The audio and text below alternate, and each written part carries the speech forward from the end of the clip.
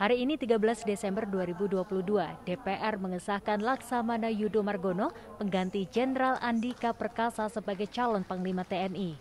Laksamana Yudo Margono merupakan calon tunggal Panglima TNI yang diajukan Presiden Jokowi dan telah menjalani uji kepatutan dan kelayakan di Komisi 1 DPR.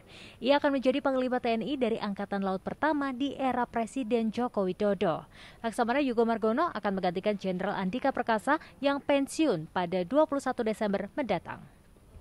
Potongan jari kaki manusia ditemukan dalam sayur lodeh yang dibeli warga di sebuah rumah makan di Kecamatan Tasiveto Timur, Kabupaten Belu, Nusa Tenggara Timur. Polisi membenarkan temuan ini dan telah memeriksa lima orang saksi serta meninjau langsung rumah makan yang menjual sayur lodeh. Saat ini kasus potongan jari manusia dalam makanan ini masih dalam penyelidikan polisi. Bukannya surut, banjir yang terjadi di Kabupaten Bandung sejak kemarin justru semakin meluas ke beberapa perkampungan, termasuk Kampung Bojong Asih, Citerep, hingga Parung Halang. Aktivitas warga pun lumpuh karena akses transportasi tak bisa dilalui kendaraan. Warga hanya bisa melintas menggunakan perahu. Banjir akibat luapan Sungai Citarum ini telah merendam 800 unit rumah.